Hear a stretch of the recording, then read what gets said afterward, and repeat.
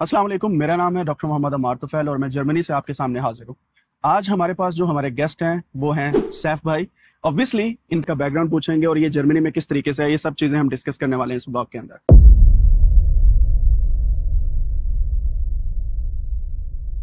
ये व्लॉग असल में आपको कुछ स्पेसिफिक इन्फॉर्मेशन देने वाला है कि आपने जर्मनी में क्यों आना है, कैसे आना है और अपने आप को कैसे बिल्ड करना है। तो हम स्टार्ट करते हैं टाइम ज़ाया किए बिना। सैफ भाई क्या हाल है? ठीक ठाक है? अल्हम्दुलिल्लाह। Thank you so much for coming here और मेरा पहला क्वेश्चन आपसे यही है कि यार आपका बैकग्राउंड क्या है और सैफ नाम का मतलब क्या है? कैसे okay. नाम पड़ा? तो सैफ का मतलब है first of all thanks lot for having me Saif का मतलब है तलवार। बड़ा फनी फनी मतलब है। बट सैफ का मतलब है तलवार ये एक अरबिक वर्ड है। और मेरा ताल्लुक वैसे कराची से है। मैं कराची से मैंने बैचलर्स किया आई से कंप्यूटर साइंस में। फिर मैं जर्मनी आ गया about six years ago as a master student master visa पे आया था मैं। उसके बाद मैंने यहाँ डिफरेंट जॉब्स किए वर्किंग स्टूडेंट जॉब्स किए आईटी के अंदर ही और अभी मैं फुल टाइम वीज़ा पे हूँ यहाँ पर और I work as a full stack software developer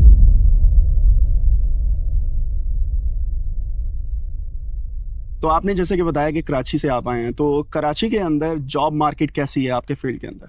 मेरे ख्याल से बहुत अच्छी है क्योंकि कराची के अंदर ज़्यादातर लोग जो काम करते हैं मेरे दोस्त फॉर एग्जांपल वो ज़्यादातर आईटी फ़ील्ड में ही काम कर रहे हैं और अच्छी खासी इंटरनेशनल कंपनीज़ वहाँ पर हैं कराची में because of the infrastructure so overall Karachi के अंदर सीन काफ़ी अच्छा है आईटी का। ज़बरदस्त। तो आपको पाकिस्तानी जॉब मार्केट का भी थोड़ा अंदाज़ा yes. होगा कि आईटी सेक्टर के अंदर लोग हर बंदा धड़ाधड़ आईटी के अंदर आ रहा है। तो आप क्या देखते हैं कि पाकिस्तान के अंदर रहते हुए आईटी का फ्यूचर क्या है? मेरे ख्याल से फ्यूचर काफ़ी अच्छा है in terms of the services we provide क्योंकि ज़्यादातर कंपनी सर्विसेज़ प्रोवाइड कर रही हैं।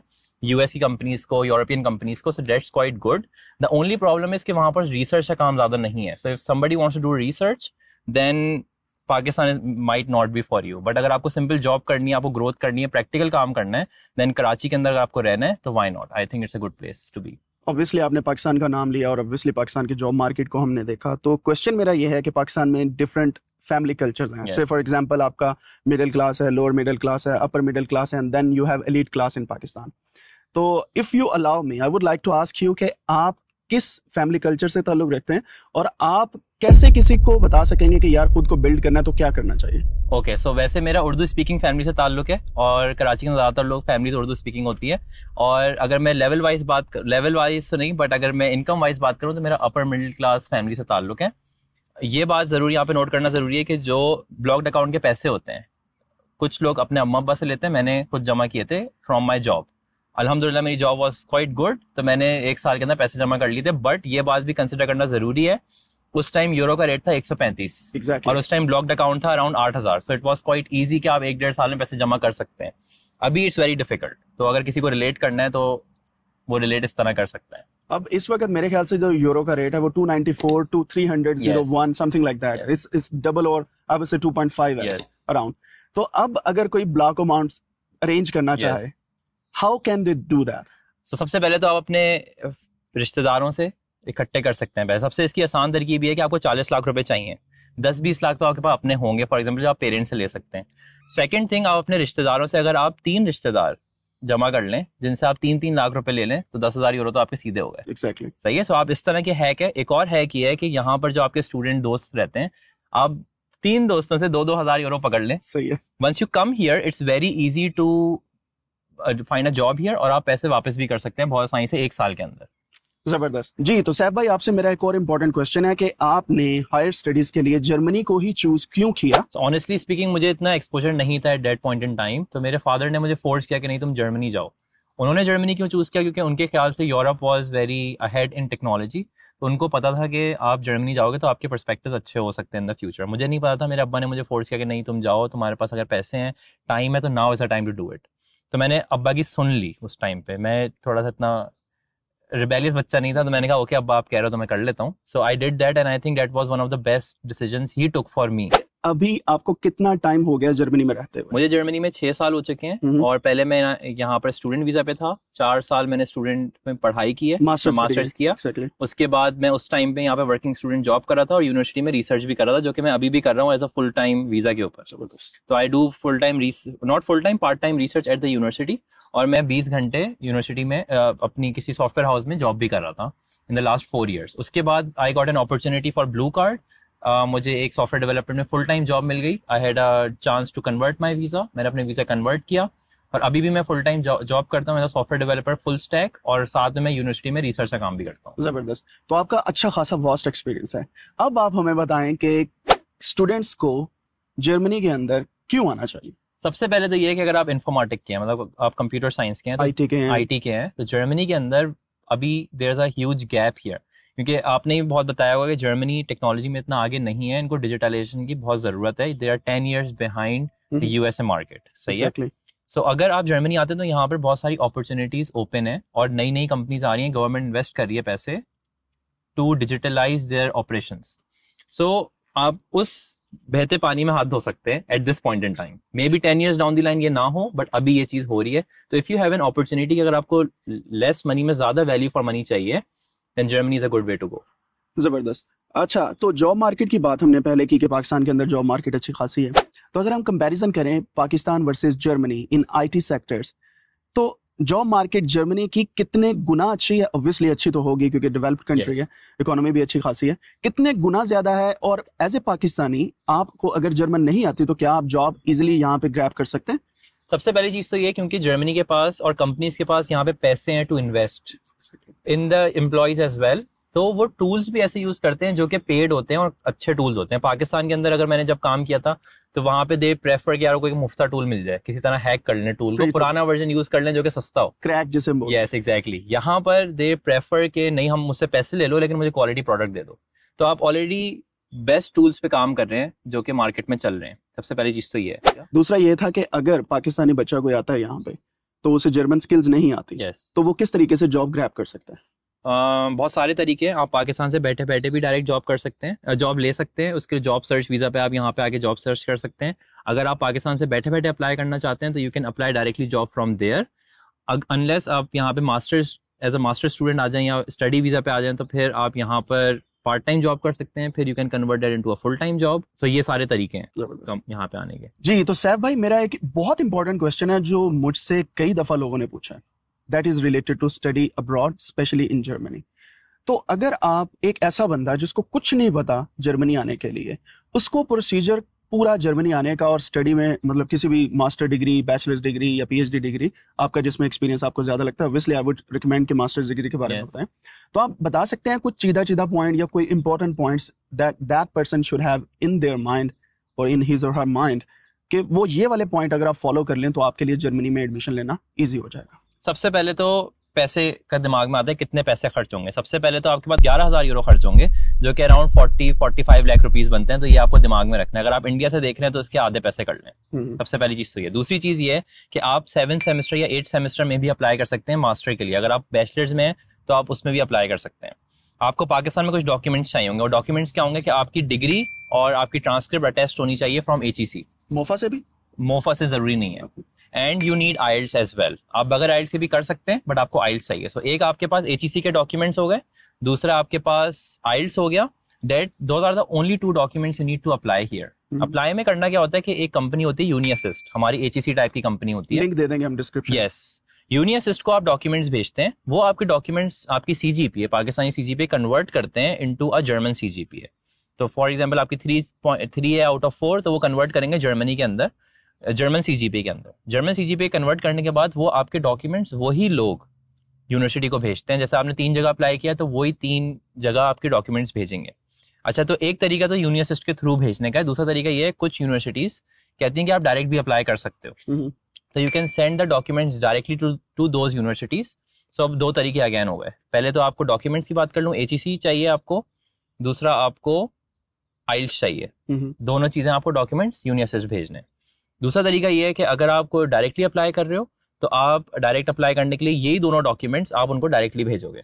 अब आप उनके उनके पोर्टल पे भी अपलोड कर सकते हो हार्ड कॉपी भी भेज सकते हो डिपेंड करता है यूनिवर्सिटी क्या मांगती है। This are this is the only process you need अब सवाल ये आ जाएगा कि मैं यूनिवर्सिटी सर्च कहाँ पे करूँ? तो there is a website called DAAD D double A D dot D जिसका लिंक आप डिस्क्रिप्शन में दे दिएगा। Exactly. वहाँ पर जाके आप फ़िल्टर लगाएँ जो आपको पढ़ना है वहाँ पे फ़ी, फ़ीस का फ़िल्टर लगाएँ शेयर का फ़िल्टर लगाएँ जो आपको पढ़ना है उसका फ़िल्टर लगाएँ लैंग्वेज का फ़िल्टर लगाएँ हज़ारों कोर्सेज आ जाएँगे। Exactly. लैंग्वेज का फ़िल्टर से मुराद आपका कि इंग्लिश सेलेक्ट करें। English select exactly yes unless आपको जर्मन में करना हो तो बात और है। अगर जर्मन आते तो बट मेनली आप इंग्लिश सेलेक्ट करें and that's good to go एक चीज़ मैं और यहाँ पर ऐड कर दूँ कि कुछ डिग्रीज डैट पे नहीं होती तो आप उनको एक और वेबसाइट है my German universities dot com. आप वहाँ पर जाके भी सर्च कर सकते हैं point. एंड सॉरी आपकी बात कर रहा हूँ this is the only process you need to apply.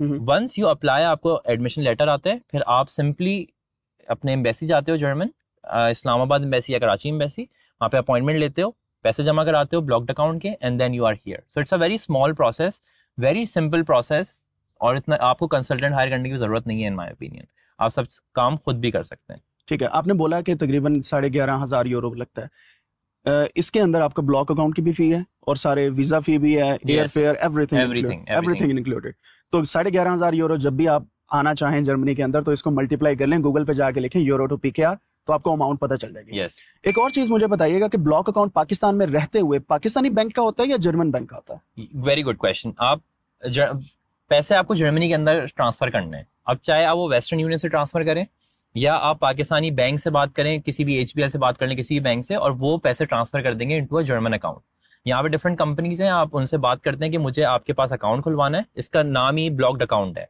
Everybody knows about this क्योंकि गवर्नमेंट की तरफ़ से official name is blocked account तो आप ब्लॉक्ड अकाउंट की जर्मन कंपनीज़ ढूंढते हैं, वहाँ पर आप पाकिस्तान से पैसे यहाँ पर ट्रांसफ़र करते हैं ग्यारह हज़ार। एक दफ़ा उनके पास आ जाते हैं तो एक हफ़्ते में कंफर्मेशन आपको भेज देते हैं कि आपके पैसे यहाँ पर आ गए ब्लॉक्ड अकाउंट का मतलब ये है वैसे जिनको नहीं पता कि every month you get this money back तो आपने फॉर एग्ज़ाम्पल ग्यारह हज़ार ब्लॉक कराए में तो हर महीने आपको अराउंड नौ सौ यूरो आपके अकाउंट में वापस आते रहेंगे। क्योंकि ब्लॉक्ड अकाउंट का मकसद ये है क्योंकि जर्मनी में पढ़ाई फ्री है तो आपको जो पैसे वापस करेगी गवर्नमेंट वो सिर्फ़ आपके रिहाइश के पैसे हैं बेसिकली रिहाइश के खाने के। एग्जैक्टली ब्लॉक अकाउंट की इसकी एक एक एग्जांपल मैं भी देता होता हूँ कि आप ये समझे कि आपके पेरेंट्स आपकी पॉकेट मनी जर्मन यूनिवर्सिटीज को पकड़ा रहे हैं कि हमारा बच्चा आ रहा है आपने पर मंथ इसको पैसे देते रहने ताकि ये बच्चा वहाँ पे अपना गुजारा कर सके। करेक्ट तो जो ब्लॉक अकाउंट है खासतौर पे आपने बताया साढ़े ग्यारह हज़ार यूरो है ये बंदा जब ट्रांसफ़र करता है तो इसकी कोई फ़ी भी लगती है ऊपर? जब ब्लॉक अकाउंट की फ़ी हमने जमा करवानी से फॉर एग्जांपल पाकिस्तान से हमने जर्मनी में पैसे ट्रांसफ़र करने हैं तो वेस्टर्न यूनियन ऑब्वियसली कोई फ़ी काटेगी या बैंक काटेगा तो वो साढ़े ग्यारह हज़ार के अंदर है कि वो एक्स्ट्रा है। वो साढ़े ग्यारह एक्चुअली जो एग्जैक्ट अमाउंट है वो ग्यारह हज़ार दो सौ कुछ यूरो है। ब्लॉक अकाउंट की। जो ब्लॉक्ड अकाउंट के वो हर दफ़ा चेंज होते रहते हैं। Last year it was ten thousand five hundred इस दफ़ा क्योंकि जर्मनी थोड़ी सी महँगाई बढ़ गई तो थोड़ा सा पैसे ऊपर चले गए हो। सकता है जब आप अप्लाई कर रहे हो थोड़ा से और बढ़ जाए पैसे। सही है? So the sooner you apply the better जितना जल्दी आप अप्लाई करें उतना बेहतर है। तो अभी ग्यारह हज़ार दो सौ कुछ है वो पैसे। एयर फेयर वगैरह लगा के मे बी आप बारह हज़ार पे ले बारह साढ़े बारह कर लें। साढ़े बारह कर पहले दो माह का आपका खर्चा आ जाएगा तो सो सो जो फ़ीस की बात बेसिकली आपने की है तो वेस्टर्न यूनियन बहुत गंदा रेट देता है when you want to transfer the money अगर बट क्विक है। बट क्विक है और फॉर श्योर पैसे चले जाते हैं इतना मसले नहीं होते। बट अगर आप बैंक के पास जाते हैं तो बैंक के अंदर अभी पाकिस्तान में लॉ ये है कि आपको फाइलर होना ज़रूरी है। Only then you can open an foreign currency account मतलब फॉरन करेंसी अकाउंट का मतलब आप पी के बजाय यूरो में अकाउंट खोलते हैं। और यूरो में अकाउंट में पैसे डालते हैं और वो पैसे ट्रांसफ़र करते हैं हियर एक और गवर्नमेंट का लॉ ये है कि अगर आप एजुकेशन पर्पज के लिए पाकिस्तान से बाहर पैसे भेज रहे हैं so you need to pay five percent tax on it exactly इसके डिफरेंट दैट्स विदहोल्डिंग टैक्स या कोई और टैक्स उसका कोई फॉरेन करेंसी कुछ Okay. करके नाम है कुछ मुझे एग्जैक्ट नाम याद नहीं है okay. उसका but five percent money you have to give it to the government as well इसके बहुत सारे हैक्स हैं जो हर हैक्स हर बैंक का अपना तरीका है। हम्म, तो कुछ बैंक्स आपको डिफरेंट तरीके बता सकते हैं क्योंकि अगर आप एजुकेशन पर्पज के लिए भेज रहे हैं अपने अकाउंट से अपने अकाउंट में तो शायद नहीं कटते। अगर किसी और के अकाउंट से अपने अकाउंट में भेज रहे हैं तो कटते हैं कुछ इस तरह का लॉ है सही। मतलब आप कह लें कि फ़ीस फ़ीस जो है उस पर अगर फाइव परसेंट भी हम लगा लें वेस्टर्न यूनियन की भी ऑलमोस्ट उतनी होगी। उतनी होती है। तो आपको कुछ फ़ी देनी पड़ती है Yes. ठीक है। एक मेरा बहुत इंपॉर्टेंट क्वेश्चन ये भी है कि जर्मनी में आप फ़ी दे के आ रहे हैं स्टडी इज़ टोटली फ्री तो कौन कौन से एक्सपेंसेस हैं जो आपको पर मंथ बियर करना पड़ते हैं आउट ऑफ़ दोज 950 यूरो जो आपको मिलते हैं? ओके सो हमारे पास चार मेन एक्सपेंसेस हैं। सबसे पहले तो आपके पास अकोमोडेशन है। अकोमोडेशन के अंदर जो आप घर लेंगे फॉर एग्जांपल सेकंड आपका खर्चा है हेल्थ इंश्योरेंस ये दो चीज़ें तो आपको पे करनी ही करनी है। जर्मनी के अंदर इट्स वेरी इसेंशियल कि हर बंदे के पास हेल्थ इंश्योरेंस हो ही हो। हम्म। तो हंड्रेड यूरोज वो हो गए। अकोमोडेशन 300 400 हंड्रेड फोर हंड्रेड की? अकोमोडेशन हो गई। Depending on the city and where you live in the city as well hmm. बाकी आप खाने पीने पे खर्च करते हैं और कुछ एक्स्ट्रा करिकुलर्स पे खर्च करते हैं। जैसे आपने कोई स्पोर्ट्स कर लिया आप कहीं हम्म। ट्रैवल पे चले गए आपने कोई चीज़ खरीद ली फॉर एग्ज़ाम्पल तो ये चार मेन खर्चे हैं। और यहाँ पर आने के बाद जब आप जॉब करते हैं फॉर एग्ज़ाम्पल तो you earn about one thousand euros और आपका टोटल खर्चा अराउंड सात सौ से आठ सौ होता है तो you can still save some money Saif भाई एक इंपॉर्टेंट क्वेश्चन मेरा ये है कि जब आप जर्मनी में आते हैं एज ए स्टूडेंट फ़ी आपको यूनिवर्सिटी में कोई नहीं देनी पड़नी। आपके अपने अखराज आपने बता दिया। अब मुझे ये बताएँ कि यहाँ पे रहते हुए एज ए स्टूडेंट मैं अपनी जो स्टडीज़ को कंटिन्यू करने के साथ साथ मैं कितने घंटे जॉब करना मुझे अलाउ है एज ए स्टूडेंट और मैं कितने पैसे जनरेट कर सकता हूँ? तो सालाना हम 140 दिन फुल डेज़ काम कर सकते हैं जर्मनी में। 140 फुल डे का मतलब है कि हर महीने अराउंड 80 टू 85 घंटे हो गए पर महीना। विच मीन्स कि आप हर हफ़्ते अराउंड 20 से 25 घंटे काम कर सकते हैं। 20 से 25 घंटे काम करने का मतलब है कि आप दो से ढाई दिन काम कर रहे हैं इन द होल वीक बाकी टाइम आप अपनी पढ़ाई पर लगा रहे हैं। इनकम कितनी जनरेट कर सकते हैं? तो यूजली वर्किंग स्टूडेंट की पोजीशन अगर आप अपनी डेस्क जॉब कर रहे हैं, अपनी फ़ील्ड की जॉब कर रहे हैं so you earn around one thousand euros हज़ार से लेके बारह सौ यूरो भी आप कमा सकते हैं डिपेंड करता है आपको घंटे वाइज कितने पैसे मिल रहे हैं।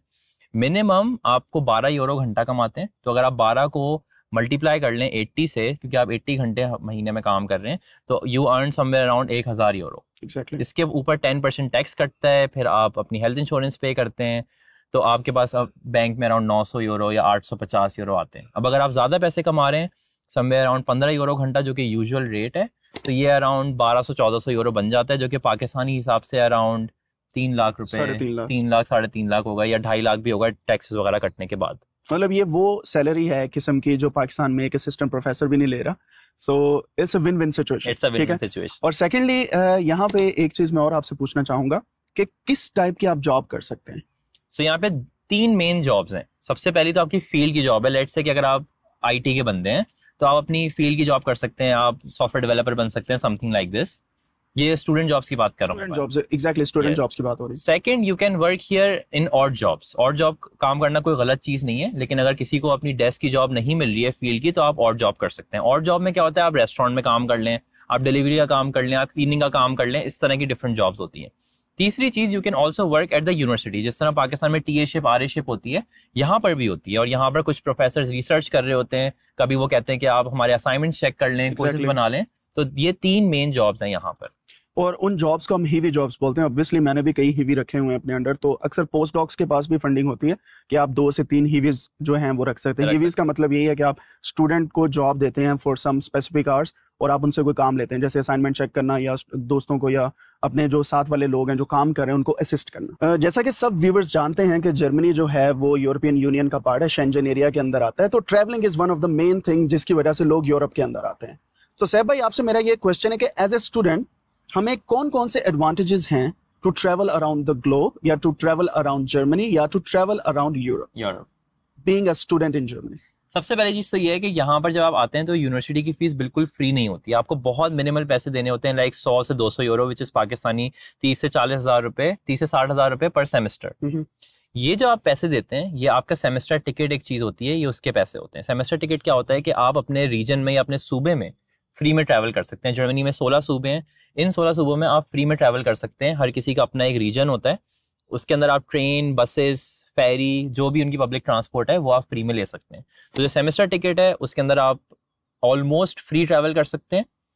फिर जो आपको जॉब टिकट मिलता है, यहाँ पे एक टिकट होता है डॉइचलैंड टिकट जो कि फोर्टी नाइन यूरो का होता है, और जो लोग जॉब कर रहे होते हैं, उनको शायद दस पंद्रह यूरो का मिलता है उनको सब्सिडी मिलती है कंपनी की तरफ़ से। तो इस पैसे के अंदर भी आप पूरे जर्मनी में कोई भी ट्रेन ले सकते हैं ऑलमोस्ट कोई भी ट्रेन ले सकते हैं एटी परसेंट ट्रेन आप ले सकते हैं फ्री ऑफ़ कॉस्ट आप कहीं भी लें, रात में, दिन में, आए, जाए, जो करना है करें। तो this is very good almost everybody has it here तो ये गवर्नमेंट की तरफ़ से सब्सिडी है to take this ticket travelling is not only in your city और इन जर्मनी आप ट्रेवलिंग यूरोप के अंदर भी कर सकते हैं। क्योंकि जर्मनी के से फ्लाइट्स बहुत सस्ती मिलती हैं जिस तरह कराची टू लाहौर की फ़्लाइट है सस्ती फ्लाइट्स आपको यूरोप के अंदर ट्रैवलिंग की मिल जाएँगी। कोई कंपनीज़ जैसे रैनर है yes, इसी तरीके से इजी जेट है। yes, इस, like yes, इस तरह की कंपनीज़ हैं जो कि आपको व्यूलिंग है बहुत कंपनीज़ है हर मुल्क की अपनी कंपनी है।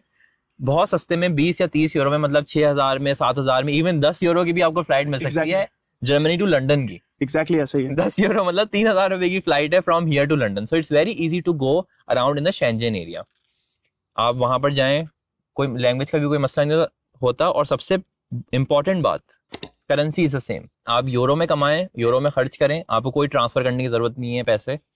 इट्स सुपर गुड और एक चीज़ बता दूँ यहाँ पे लंदन की बात हुई है। लंदन जो है वो यूरोपियन यूनियन के अंदर नहीं है अभी ब्रेक्सिट की वजह से। और उससे पहले भी हम पाकिस्तानियों को वीज़ा लेने की ज़रूरत पड़ती थी। पड़ती थी। सो इट्स नॉट लाइक कि आप लंदन जाएँगे और वीजे की ज़रूरत नहीं पड़ेगी। ये बहुत बड़ी मिसकंसेप्शन है अमंग स्टूडेंट्स uh, जो यहाँ पे आते हैं। Yes. दूसरी चीज़ यहाँ से मुझे याद है कि मैं इटली से एक दफ़ा जर्मनी आया था। सो इटली मिलान बर्गेमो एयरपोर्ट से मेरे ख्याल से कोई 12 यूरो की टिकट मिली। यस जो मैंने बस ली थी अपने सिटी से बर्गेमो आने के लिए वो थी 20 यूरो की यस और 12 यूरो की टिकट। मतलब बसेस और ट्रेन महँगी हैं फ़्लाइट सस्ती है। यस एग्जैक्टली लेकिन अगर आप देखें जर्मनी में रहते हुए जब आपको 49 यूरो की टिकट मिलती है तो बसेस और ट्रेन टोटली फ्री हैं आपके लिए और सिर्फ़ फ़्लाइट का खर्चा है। सो एट द एंड आपको ज़्यादा पैसे नहीं देने पड़ते Yes. तो ये ट्रांसपोर्ट का बहुत बड़ा एडवांटेज है बींग इन जर्मनी ट्रू अब मुझे एक बात बताएँ 49 यूरो पे मैंने सुना है कि आप नियरेस्ट जो बॉर्डर एरियाज़ हैं डिफरेंट कंट्रीज़ के वो भी ट्रैवल कर सकते हैं फ्री ऑफ़ कॉस्ट तो आपका कोई एक्सपीरियंस है इसके बारे में? या so there is a list आप इंटरनेट पे जाके चेक कर सकते हैं। ये लिस्ट सारे जो जर्मनी के सराउंडिंग मुल्क हैं वहाँ तक जाती है। जैसे लग्जमबर्ग जाती है नेदरलैंड्स में एक शहर है वहाँ तक ट्रेन जाती है। स्विट्जरलैंड स्विट्जरलैंड तक ट्रेन जाती है। फिर उसके बाद अगर आप राइट साइड पे आ जाए तो पोलैंड के अंदर भी ट्रेन जाती है। ऑस्ट्रिया में साल्सबर्ग तक भी जाती है। Exactly so you can go to all of these cities even Denmark भी जाती है। डेनमार्क भी।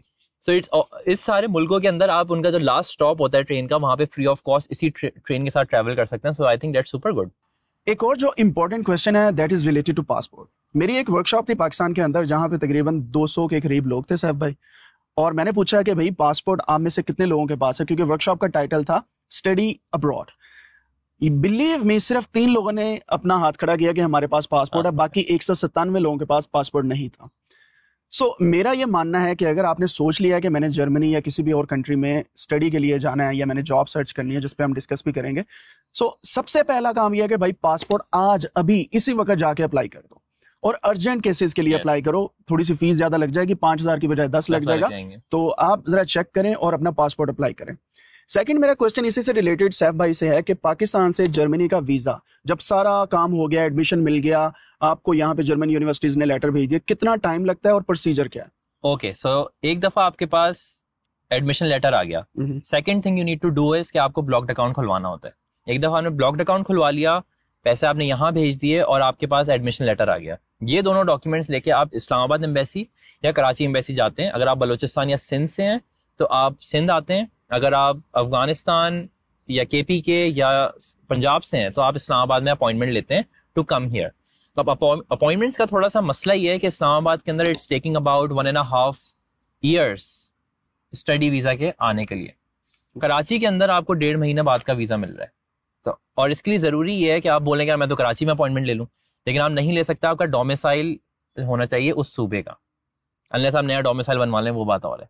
सारी बात है टिप्स एंड ट्रिक्स आते हैं लेकिन अगर आपका कोई रिलेटिव रहता है वहाँ पे तो आप ट्रांसफ़र होके वहाँ पे रेजिडेंसी शो Yes. करते हैं then it could be one it could be one of the things but mainly आपका जहाँ का डोमिसाइल होता है जहाँ पे आप काम कर रहे होते हैं जहाँ पे आपकी फैमिली रहती है that's the most important thing exactly so unfortunately Islamabad के साथ थोड़ा सा डेढ़ साल का टाइम है but still I would take the bet क्योंकि सस्ते में काम हो रहा है। कराची के अंदर इट्स टेकिंग डेढ़ डेढ़ महीना ओनली तो आप डेढ़ महीने के बाद अपॉइंटमेंट ले सकते हैं। एक दफ़ा आपने अपॉइंटमेंट ले लिया वीज़ा लगने में बीस दिन लगते हैं। और वीज़ा का प्रोसीजर क्या है? कि आपने सिर्फ़ एप्लीकेशन दिया वीज़ा की उसके बाद क्या सीन है? सो एप्लीकेशन के अंदर डॉक्यूमेंट्स हो गए। आपके जो सारे सिर्फ़ डॉक्यूमेंट्स मेन चीज़ होती है। डॉक्यूमेंट्स में आपका एडमिशन लेटर हो गया उनका एक वीज़ा एप्लीकेशन होती है वो भरनी होती है। List is very easily available internet पे आप लिंक ऐड कर दिएगा। दस डॉक्यूमेंट्स की लिस्ट है। पैसों Exactly. की हो गई आप यहाँ पे क्या करते हैं फैमिलीज़ आपकी थोड़ा फैमिली के बारे में इन्फॉर्मेशन होती है। Dates mainly it so it's super easy to do that ठीक है। अच्छा ये बताएँ कि अपॉइंटमेंट मिल गई आपने वीज़ा एप्लीकेशन दे दी उसके बाद इंटरव्यूज़ होते हैं एज ए स्टूडेंट वीज़ा पे जब आप यस फॉर श्योर सो बहुत सिंपल सा आपका क्वेश्चन आंसर का सेशन होता है वहाँ पर। मे बी टेन मिनट्स का okay and they ask very generic questions in English in English this is this is very important क्योंकि आपकी पढ़ाई इंग्लिश में तो दे टेस्ट कि यार एक्चुअली आइल्स आपने दिया है पास किया तो आप बोल भी सकते हो। और मैं आपको अपने बारे में फनी स्टोरी बताता हूँ। मुझसे उसने उसी टाइम कहा था कि मुझे मोटिवेशनल लिख के दिखाओ कि तुम्हें क्यों जाना है जर्मनी तो this is also a thing which could happen with you कि वो आपसे पूछ सकते हैं यार अभी लिख के बताओ मुझे मोटिवेशन लेटर कि तुम्हें क्यों जाना है? और वो आपकी इंग्लिश राइटिंग स्किल्स चेक करेंगे कि यार इसको पता भी है क्या बोल रहा है या नहीं बोल रहा। सो सेकंड चीज़ मेरे ख्याल से साहब भाई adding on that one Pakistan में फेक डिग्रीज का बड़ा सीन है आजकल। यस और वो चेक करते हैं कि आपका बैकग्राउंड अगर आपने आईटी लिखा है तो आपको आईटी का कुछ पता भी है कि नहीं? ਲਿਖਿਆ ਤੁਸੀਂ ਆਈਟੀ ਹੈ ਤੇ ਤੁਹਾਨੂੰ ਮਾਊਸ ਦਾ ਨਹੀਂ ਪਤਾ ਕੀ ਹੁੰਦਾ ਤੁਸੀਂ ਚੂਹਾ ਕਹਿ ਰਹੇ हो so that that that doesn't happen there that's true तो वो चेक करते हैं बाकायदा कि इंटरव्यू के दौरान कि आप आईटी के हैं अच्छा वहाँ पे कौन सी यूनिवर्सिटी में जाना है अकोमोडेशन का क्या सीन है Yes. आपने अकोमोडेशन ले लिया है ब्लॉक अकाउंट की अमाउंट वगैरह के बारे में पूछेंगे यस फिर ये भी क्या ये पूछ सकते हैं कि आपने पैसे कैसे जनरेट किए अपने ब्लॉक अकाउंट के लिए इतना मैटर नहीं करता but they definitely see your family background okay क्योंकि अक्सर लोग ये करते हैं कि ब्लॉक्ड अकाउंट ना जैसे मैंने एक आपको हैक बताया कि आप अपने दोस्तों से ले लो अब आप बोल दें कि मैंने तो घर से पैसे जमा किए हैं तो उनको शक हो सकता है कि यार इसके तो घर पे तो लोग इतने कमाने वाले ही नहीं है तो ये चालीस लाख रुपए कहाँ से लेके आ सकता है?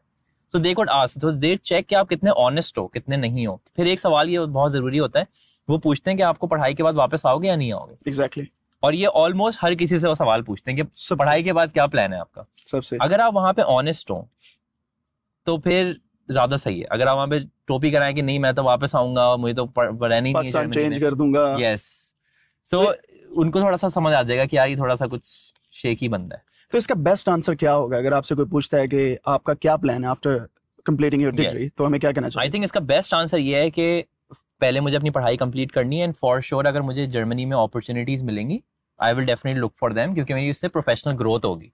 अगर मुझे नहीं मिलेगी तो डेट्स कम्प्लीटली फाइन लेकिन मेरे लिए इंपॉर्टेंट ये है कि मुझे प्रोफेशनल जॉब मिले ताकि मैं अपनी पर्सनली डेवलप कर सकूँ and maybe five years down the line मुझे समझ नहीं आएगा तो maybe I move somewhere else but अभी तक का मेरा ये प्लान है। That that's a good point और यहाँ पे एडिंग ऑन दैट मैं एक चीज़ आपको सजेस्ट कर देता हूँ, जितने भी व्यूवर्स देख रहे हैं। पहली बात तो ये मैं आपको सजेस्ट कर देता हूँ कि नीचे लाइक का बटन आ रहा है, उसे प्रेस कर दें। उसका बेस्ट बेनिफिट क्या है कि आपको इस तरह की वीडियोस हमारी और भी मिलती जाएँगी, और हमारे चैनल को भी सब्सक्राइब कर दें। अब दूसरी बात मैं ये करता हूँ यहाँ पे कि जब भी आपसे ऐसा क्वेश्चन पूछा जाए तो आप बोलें कि मेरा प्लान सबसे पहला ये है कि मेरा फ़र्स्ट माइलस्टोन जो लॉन्ग टर्म नहीं शॉर्ट टर्म है that is completing this degree and then मेरे पास जहाँ पे भी पूरी दुनिया के अंदर जॉब अपॉर्चुनिटीज़ अवेलेबल होंगे I will apply on that और जहाँ पे भी मुझे job milli I will work on that और मेरी प्रेफरेंस जर्मनी होगी then second preference is Pakistan and then I can open towards European Union या यूए या यूएसए जहाँ पे भी आपने चाहना है। Yes. और जारी बात है यहाँ पे uh, जिसके बारे में हम बात भी करेंगे दैट इज़ अपॉर्चुनिटी कार्ड आपने मास्टर्स की डिग्री कर ली. व्हाट्स नेक्स्ट इंटरव्यू के बाद आपको वीज़ा मिल गया आप फ्लाई करके यहाँ पे आ गए। ऑब्वियसली एयरलाइन सस्ती महँगी वो बाद में हम yes. इस पे बात कर लेंगे। But the first thing is आपने डिग्री मुकम्मल कर ली। उसके बाद आपको जर्मनी में कौन सी अपॉर्चुनिटीज़ अवेलेबल है? अगर आपकी जॉब नहीं होती तो क्या कोई ऐसे कैटेगरी है कि आपको यहाँ पे स्टे करने का मौका मिल जाए? For sure so it's a super good category जिसका नाम है जॉब सर्च वीज़ा जे कहते हैं उसको।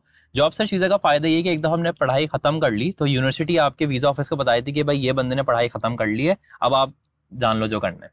वो आपका जो वीज़ा ऑफ़िस होता है वो क्या करता है? आपको जॉब सर्च वीज़ा देता है जो कि अट्ठारह महीने का होता है। वो ये ज़रूर चेक करते हैं कि आपके पास क्या इतने पैसे सेव्ड हैं कि आप अट्ठारह महीने रह सकते हो। दिस इज़ वेरी इंपॉर्टेंट जो, जो कि अराउंड छह से सात हज़ार यूरो बनते हैं। डिपेंड करता है अगर आपके पास कम पैसे हैं तो आपको कम टाइम का वीज़ा देंगे। एग्जैक्टली बट वीज़ा मिलना यहाँ पर ऑस्ट्रेलिया और कैनेडा और इधर उधर के हिसाब से बहुत आसान बहुत आसान है। Even extension is very easy Australia में सिर्फ़ तीन महीने का वीज़ा एक्सटेंड होता है। यहाँ पर आपको छह महीने आठ महीने लीगली अठारह महीने तक का एक्सटेंड हो exactly. सकता है। तो you get a job search visa here that super good उस जॉब सर्च वीज़ा के टाइम में maybe you find a job तो आप वो जॉब सर्च वीज़ा कन्वर्ट करते हैं इनटू अ वर्क वीज़ा और वर्क वीज़ा की कोई स्पेसिफिक कैटेगरी नहीं है। बस मेन चीज़ ये है कि आपको अपनी फ़ील्ड की जॉब लेनी है। एक सर्टेन थ्रेश है थर्टी या फोर्टी थाउज़ेंड यूरो डिपेंड करता है कि आप exactly. कौन से फ़ील्ड से ताल्लुक रखते हैं अगर यूजली लोगों की उसकी उतनी सैलरी होती है तो once you have that salary it's super easy to get the visa अब ऑस्ट्रेलिया में ये होता है या यूके में होता है आपको वीज़ा खरीदना पड़ता है वर्क वीज़ा यहाँ पर भी खरीदना पड़ता है but it only cost ninety seven euros तो वो फ़ी हुई एक सिंपल सा टैक्स टैक्स फ़ी है. सेकेंडली इसमें ये भी एक adding on that I can ask another question related to that वो ये है कि यार आपको वीज़ा मिल गया जॉब आपको मिल गई. आपने thirty to forty thousand euro per year आपने क्राइटेरिया बताया कि इस पे आपको जॉब मिल जाती है। सो आपको क्या लगता है कि आपकी डिग्री के फ़ौरन बाद आपको परमानेंट जॉब मिलने के चांसेस ज़्यादा हैं या शॉर्ट टर्म कॉन्ट्रैक्ट के हैं या लॉन्ग टर्म कॉन्ट्रैक्ट के हैं? मेरे ख्याल से अगर आप यहाँ पर आते हैं एज अ स्टूडेंट और जब आप एज अ स्टूडेंट जॉब करते हैं अपनी फ़ील्ड की तो आपको फुल टाइम जॉब मिलने में बहुत आसानी होती है। You can find a job maybe in two months three months it's super easy to do that ज़्यादातर यहाँ पे जो पहला कॉन्ट्रैक्ट मिलता है, वो दो साल का मिलता है कॉन्ट्रैक्ट मुझे फॉर एग्ज़ाम्पल पहली जॉब में ही अनलिमिटेड कॉन्ट्रैक्ट मिला था. I don't know how even I did not know about it जब मुझे मिल रहा था कॉन्ट्रैक्ट तो मुझे बाद में पता लगा था कि अनलिमिटेड कॉन्ट्रैक्ट है. तो यूजली दो साल का कॉन्ट्रैक्ट मिलता है और दो साल के बाद they do an unlimited contract with you उसमें छह महीने शुरू के प्रोबेशन पीरियड होता है, जिसके अंदर वो चेक करते हैं कि आप उनके लिए सही है और आप चेक करते हो कि वो आपके लिए सही है या नहीं. This is very important to तो without any notice they can fire you या आप वो कंपनी छोड़ सकते yes, हैं? या वो आप कंपनी छोड़ सकते हैं. Other otherwise you you will have to leave in three months so पहले आपको कॉन्ट्रैक्ट मे बी दो साल का मिले and it's super common to do that आपको अनलिमिटेड भी मिल सकता है कॉन्ट्रैक्ट मतलब वो कोई लिमिट नहीं है. क्योंकि दो साल के बाद you decide on new terms क्या मुझे सैलरी बढ़ाओ या मुझे ये करो वो करो something like this short term contracts यहाँ पर जो यूजली मिलते हैं फुल टाइम जॉब के वो इतने यूजफुल नहीं होते क्योंकि फॉर एग्ज़ाम्पल अगर आपको शॉर्ट टर्म कॉन्ट्रैक्ट एक बेकरी में मिल रहा है लेट्स से वो बेकरी वाला कॉन्ट्रैक्ट आप वीज़ा ऑफ़िस को लेके जाके दिखाओगे तो वीज़ा ऑफ़िस नहीं मानेगा क्योंकि आपकी फ़ील्ड नहीं है एग्जैक्टली और जॉब हो जाएगी। यस तो वीज़ा ऑफ़िस नहीं मानता उस बात को बट यूजुअली आपको दो कैटेगरीज की कॉन्ट्रैक्ट मिलते हैं यहाँ पे। सही हो गया। अच्छा एक और क्वेश्चन इसी इसी से रिलेटेड है जॉब से रिलेटेड कि आपको जॉब मिल गई है और आपने स्टूडेंट एज ए स्टूडेंट भी यहाँ पे दो साल तीन साल चार साल में जब भी आपने मास्टर कंप्लीट किया it's totally up to you so after that PR जिसे हम परमानेंट रेजिडेंस Yes. कहते हैं वो कितनी देर में मिल जाती है? So it's super easy Germany के अंदर क्योंकि I don't know how why it is like this लेकिन अभी at this point in time it's super easy all you need is a job in your field and you need some German अगर आपके पास A one German है तो आप 27 months में this is a new law जो कि इसी साल इंप्लीमेंट हुआ है 27 महीने में आपको पी आर मिल सकती है विच इज़ अनलिमिटेड वीज़ा आप चाहे जॉब करें, आप लोन लें, आप बिज़नेस करें, आप फ्रीलांसिंग करें, कुछ भी just in twenty 27 months 27 months of job plus student no 27 months of job only of job only. Okay. Student tenure नहीं उसमें स्टूडेंट टेन्योर में शामिल नहीं है। बट स्टूडेंट टेन्योर शामिल है आपका पासपोर्ट के अंदर। Exactly.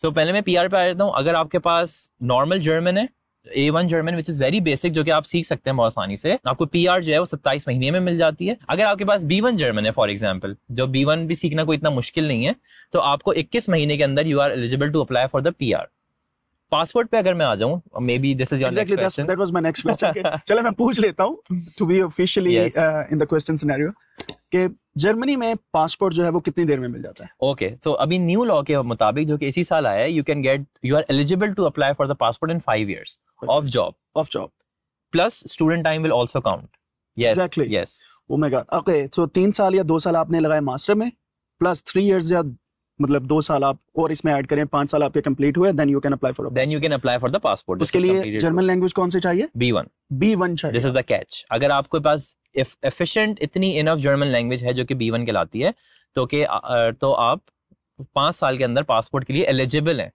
अप्लाई कर सकते हैं। अप्लाई कर सकते हैं। अच्छा अब लेट से आपका बी वन नहीं है आपके पास ए वन है तो इट्स सेवन ईयर्स तो ये सेवन ईयर्स भी बहुत जल्दी से गुजर जाते हैं इतना मसला नहीं होता इन माय ओपिनियन आपको कितनी देर होगी या दोबारा मुझे छह साल हो गए। और मुझे यहाँ पे तकरीबन ये 2018 में मैं आया था so it's around six years yes yes अच्छा अब लेट से अभी हमने एलिजिबिलिटी की बात कर ली। एलिजिबिलिटी का मतलब ये है कि आप वीज़ा ऑफ़िस को बोलोगे यार मुझे छह साल हो चुके हैं पाँच साल हो चुके हैं मुझे आप अपॉइंटमेंट दे दो। So maybe they give you an appointment after one year maybe six month वो डिपेंड करता है आप कहाँ रह रहे हैं क्या सीन है। वंस यू अप्लाई फिर उसके बाद एक दो साल और लगते हैं आपके चेक्स होते हैं ये पूरा प्रोसेस होता है कुछ डॉक्यूमेंट्स दिखाने होते हैं। So overall I would say five years plus some time one and half लगा। वन एंड हाफ़ लगा। लेकिन उसके दौरान आपके पास वीज़ा तो होता है ना ऑब्वियसली जब आप श्योर sure. हाँ तो ये नहीं है कि पाँच साल के पास आपका टेन्योर खत्म हो गया पाँच साल का। आपका वीज़ा भी खत्म हो गया और आप जाके कह रहे हैं मुझे पासपोर्ट Yes. ऐसा नहीं है आपके पास जॉब होना ज़रूरी है। सिक्योर जॉब होना ज़रूरी है for longer term at least one and half years and then आपको वो मिल जाता है। पीआर से रिलेटेड मेरा क्वेश्चन है आपको पीआर मिल जाए तो उसके बाद जॉब करना ज़रूरी है टू स्टे इन जर्मनी या नहीं? सो ऑफिशियली नहीं है। अगर पीआर के बाद अगर आपको जर्मनी में रहना है और आप कहते हो मैं जा रहा हूँ कनाडा या यूएई जा रहा हूँ या मैं छह महीने पाकिस्तान जा रहा हूँ आई डोंट केयर तो आपको यहाँ पर एक आपके पास एड्रेस होना ज़रूरी है। और रजिस्टर्ड एड्रेस जिसे हम. पाकिस्तान में डोमिसाइल बोलते हैं यहाँ पे रेजिडेंट कार्ड ठीक है? एक वो होना ज़रूरी है। नंबर टू आपको हेल्थ इंश्योरेंस सिस्टम में पैसे देते रहने। जो कि अराउंड तीन सौ चार सौ यूरो पर मंथ होते हैं सिर्फ़ आपके। तो एज ए स्टूडेंट आपने बोला था कि हंड्रेड यूरो पर मंथ है। स्टूडेंट की हेल्थ इंश्योरेंस सस्ती है as compare to job holder या नॉन स्टूडेंट्स सो स्टूडेंट्स के लिए जर्मनी ने सब्सिडाइज की हुई हेल्थ इंश्योरेंस आप वही सारी फैसिलिटीज़ ले सकते हैं जो कि आप नॉर्मली किसी और के पास ले सकते जो कि आप जॉब होल्डर्स के। जॉब होल्डर्स के हो या इवन आपके पासपोर्ट हो does not matter health insurance हर किसी के लिए सेम है। आप फ्री में डॉक्टर के पास जा सकते हैं सारे आपको जो इमरजेंसी सर्जरीज हैं वो आप फ्री में करवा सकते हैं। सो स्टूडेंट्स के लिए it's for sure 110 euros at this point और फुल टाइमर्स के लिए जितना ज़्यादा वो पैसे कमाते हैं, उतना ज़्यादा उसमें परसेंटेज खेलती है। मैं आपको बता देता हूँ एक छोटा सा सिनेरियो कि जब आपकी salary around four thousand euro जिसे हम ग्रॉस सैलरी कहते हैं, इतनी है, या थ्री थाउज़ेंड यूरो है तो उसकी परसेंटेज होती है जो आपकी social security plus health insurance में जाती है। और कभी ये 600 यूरो पर मंथ बन रहा था आपकी साइड से कभी 700 कभी 400 कभी 300 लेकिन अगर आपके पास पीआर है और आप जॉब नहीं कर रहे तो तीन साढ़े तीन सौ या चार सौ के करीब पर Yes, मंथ आपको देना yes. पड़ना मैं यहाँ पे एक एक्सपीरियंस शेयर कर दूँ कि मेरे गले का ऑपरेट हुआ था यहाँ पे सर्जरी होती यूनिवर्सिटी क्लिनिक में यहाँ पे हॉस्पिटल है। अपॉइंटमेंट लेने को टाइम लगा था लेकिन on the other side I didn't pay even a single penny okay सिर्फ़ दस यूरो दिए थे वो भी जो मैंने खाना खाया था। कुछ एक रात के लिए जो मैंने खाना खाया था उसके मैंने दस यूरो दिए थे दैट्स इट और बिलीव मी वो सिस्टम अभी तक मुझे मेरे माइंड में स्टक हुआ पड़ा है कि यार इतने अच्छी उन्होंने हेल्थ केयर मुझे प्रोवाइड की। ऑन द अदर साइड मैं हॉस्पिटल में तीन दिन रहा तीन दिन रहा। ठीक है? और ये भी नहीं वाईफाई भी होता है एग्जैक्टली वाईफाई होता है और लोग आते जाते हैं खाना Yes. बड़ा ज़बरदस्त होता है और हाइजीन का बड़ा आला किस्म का इन्होंने मेंटेन किया। ऑब्वियसली जर्मनी है। सेकेंडली मैं कोविड के दौरान था वहाँ पे भाई। सो जस्ट इमेजिन गले का ऑपरेशन कोविड के दौरान। So it was hectic for me लेकिन on the other side I didn't pay even a single. और वहाँ पे सब कुछ पे ऑफ़ हो गया था हाँ। ऑब्वियसली यहाँ पे एक और दोस्त है जिसका एक्सीडेंट हो गया था। अब तो अल्हम्दुलिल्लाह वो ठीक है। He didn't pay even a single penny. Ambulance each and everything was included in the insurance that's the best part about yes Saif भाई से मेरा एक और क्वेश्चन है कि अब हमें ये बताएँ कि जब एक पासपोर्ट आप यहाँ पे अप्लाई करते हैं ऑब्वियसली पाँच साल का आपने टेन्योर बताया।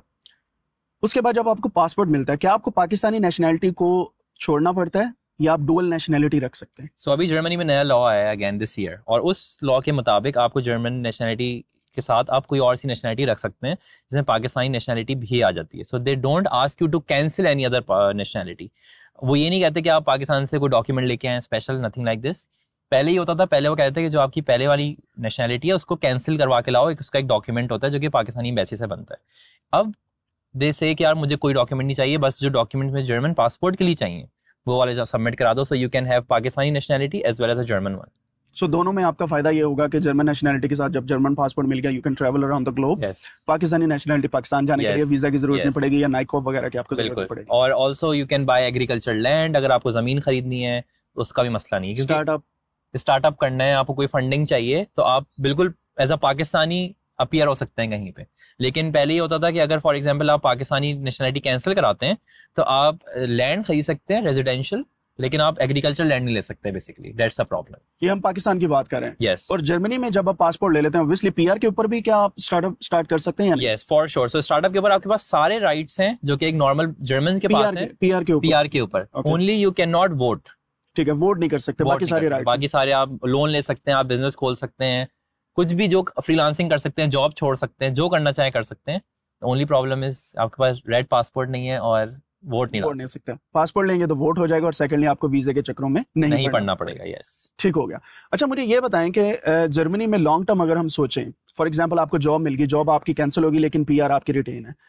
तो इस आपको इस बारे में इंफॉर्मेशन है कोई कि जब आप दोबारा से जॉब सर्च पे जाते हैं पीआर आपके पास आ गई जॉब आपकी छूट गई है अब दोबारा से आप जॉब सर्च पे जा रहे हैं तो जर्मन गवर्नमेंट क्या आपको कुछ पे करती है to sustain your lifestyle yes for sure so अगर फॉर एग्ज़ाम्पल आपकी जॉब खत्म हुई है तो आपको यहाँ पे एक, एक पैसे मिलते हैं जिसको कहते हैं आर्बाइट लोस गेल्ट ए एल जी वन जो आपकी सैलरी का सिक्सटी परसेंट पैसे होते हैं। नेट सैलरी नेट सैलरी का तो जो भी आपने क्योंकि आपने जो पैसे बेसिकली टैक्स भरा है वो आपकी इंश्योरेंस होती है कि अगर आपको कल को आपकी जॉब खत्म हो जाती है तो हो जाती है तो गवर्नमेंट आपको पैसे देगी सस्टेन करने के लिए। सो so, पीआर के अंदर अगर आपने जॉब खुद छोड़ी है तो आपको वो नहीं मिलते पैसे बट अगर आपको कंपनी ने निकाल दिया है कंपनी बंद हो गई या समथिंग लाइक दिस तो खत्म हो गया। कॉन्ट्रैक्ट खत्म हो गया तब भी। तब भी नहीं मिलना। तब भी नहीं मिलना। आई सी ओके सो इस पे मेरा थोड़ा सा काइंड ऑफ़ इख्तलाफ होगा क्योंकि Okay. मेरे साथ ये सीन हुआ था कि मैंने पीएचडी के दौरान मेरी जॉब थी वो मैंने छोड़ के थीसिस लिखना था छह माह के लिए। Okay. कॉन्ट्रैक्ट खत्म हुआ उसके बाद मैंने ए एल जी वन के लिए अप्लाई किया and they provide me six months visa plus उन्होंने मेरी अच्छा, सैलरी very का सेवेंटी परसेंट या sixty percent this. So maybe this is the thing हम इसको कंफर्म कर लेंगे। सेकेंडली ये है कि जो पीआर के बाद आप दोबारा से जब भी कभी आप रिजाइन करते हैं ना किसी जॉब से you are not eligible for ALG one yes.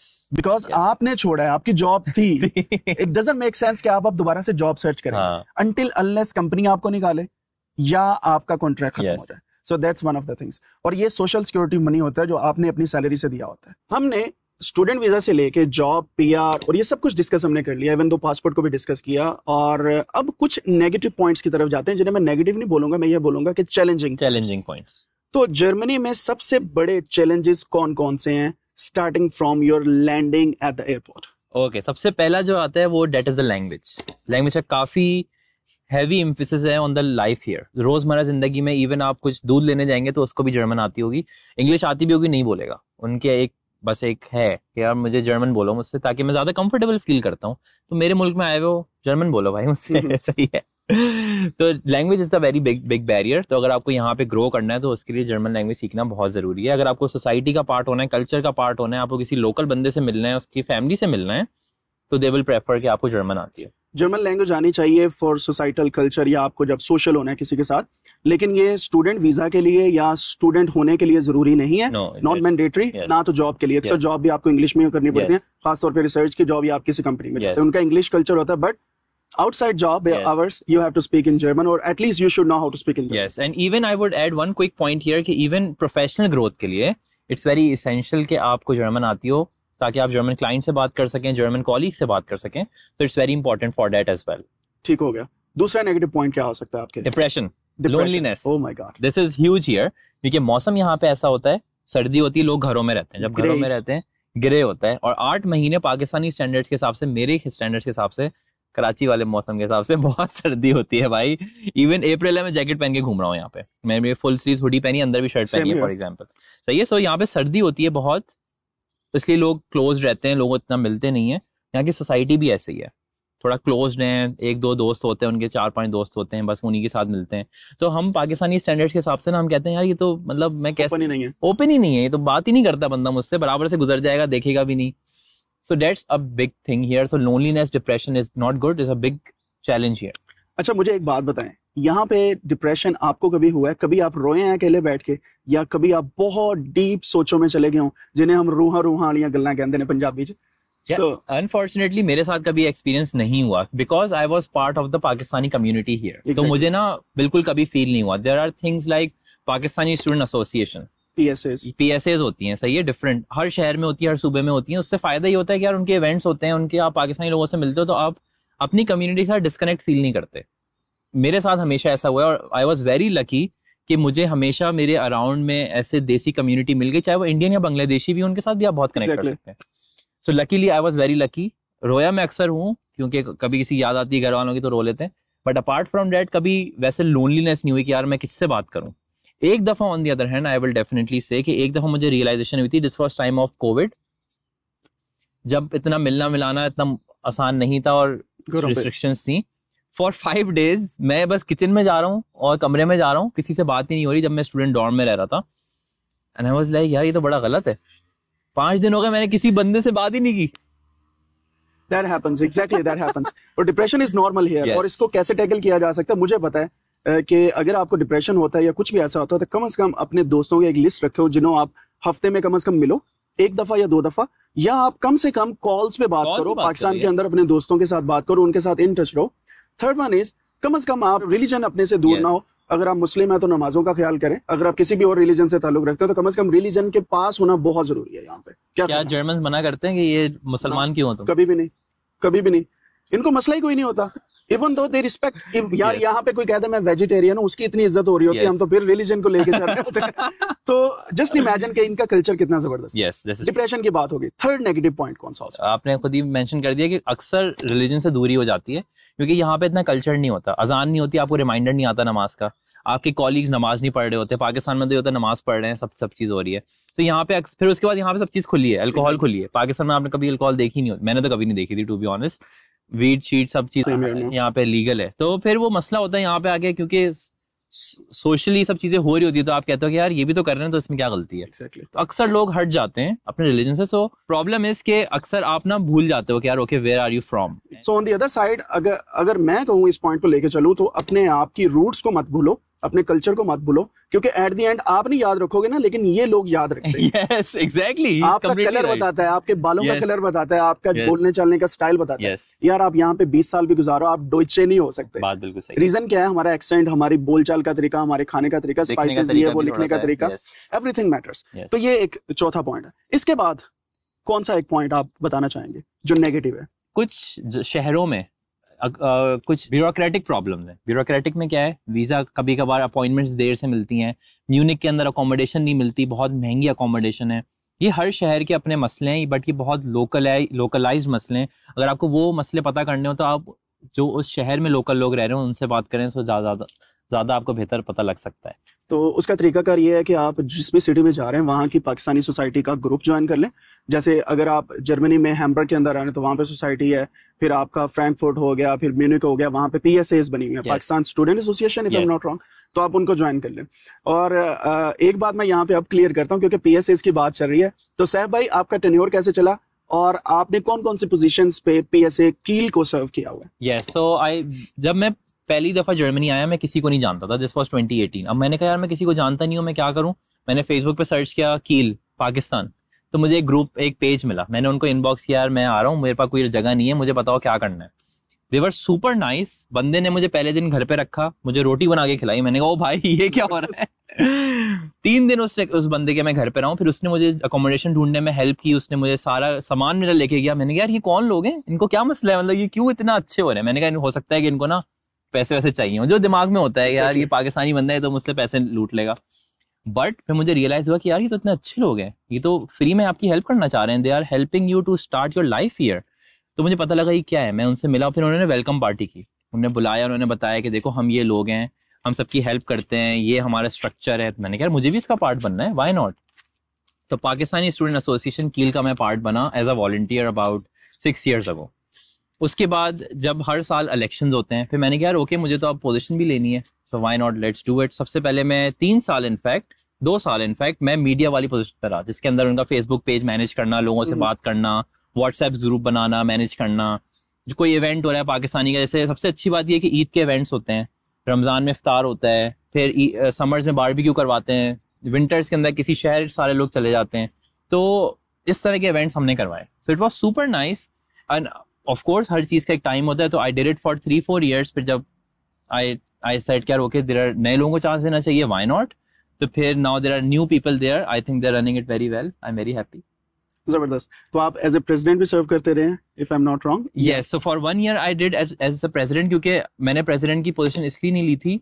I had the opportunity but मैं नहीं ली क्योंकि इट एड्स रिस्पॉन्सिबिलिटी तो अगर मुझे पता था कि मैं इतना टाइम नहीं दे सकता तो बेहतर ये है कि आप किसी ऐसे बंदे को चांस दे दो जो कि टाइम दे और ज़्यादा वो कर सके उसको ऑनेस्टी के साथ। Exactly exactly. अच्छा ये जो पीएसएस होती हैं यूनिवर्सिटीज के साथ एफिलिएटेड होती हैं रजिस्टर्ड होती हैं? Yes this is very good point कि they they are almost always official official का क्या मतलब है कि जैसे आप यूनिवर्सिटी पे जाएँगे आप कील की आप जाएँ। इनफैक्ट आई थिंक मुझे पाकिस्तानी कील की सोसाइटी भी वहीं से मिली थी।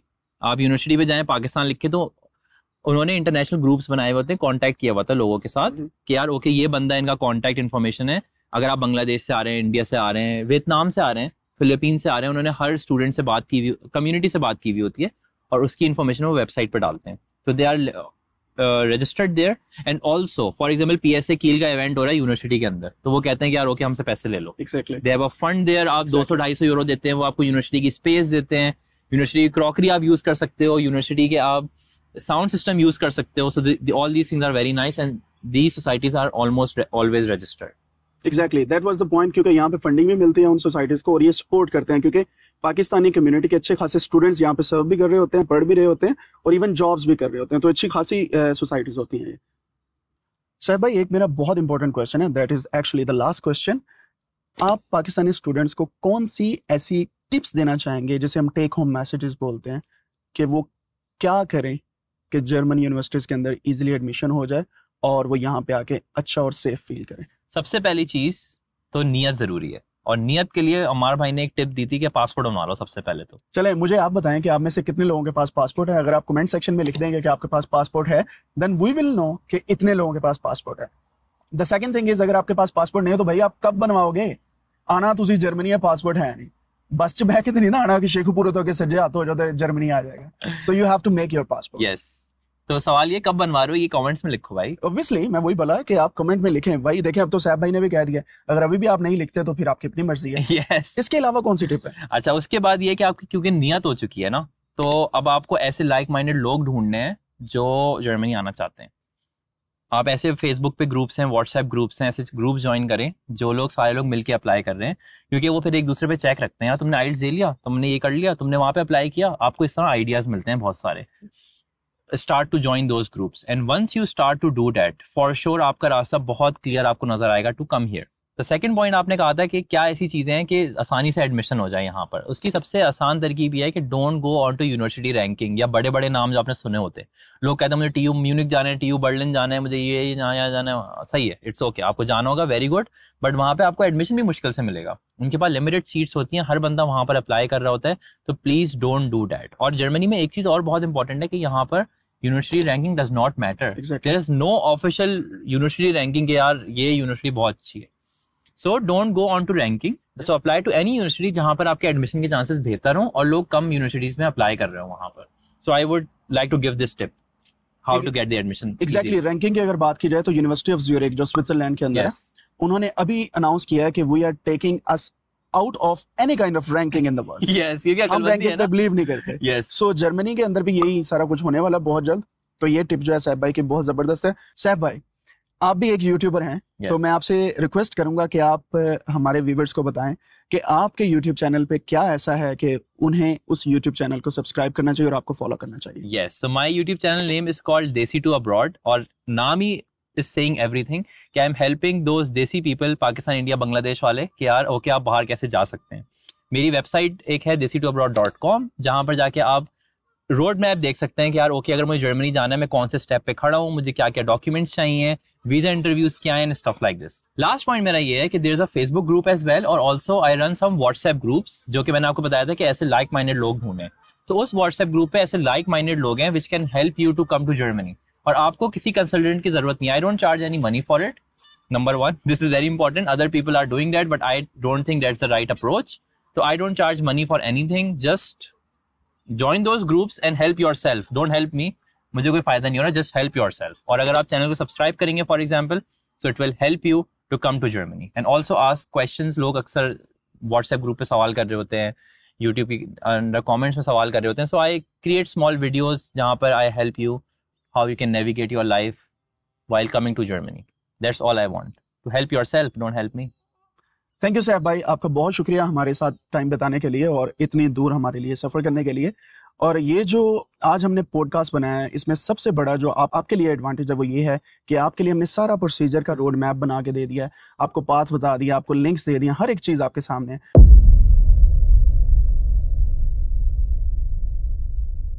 भाई, अब भी नहीं आपने जर्मनी के लिए ट्राई करना तो कब करना है?